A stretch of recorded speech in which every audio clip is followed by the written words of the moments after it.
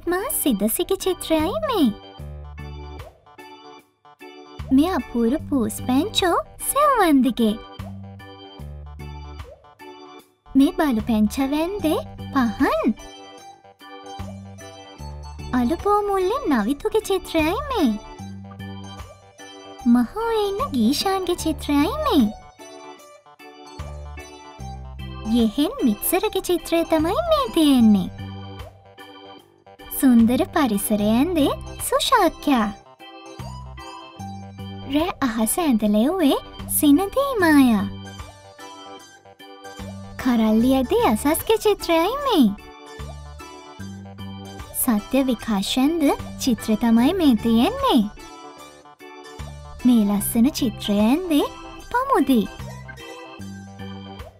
දෙව්සරා නෙත්මිනේගේ චිත්‍රයයි මේ.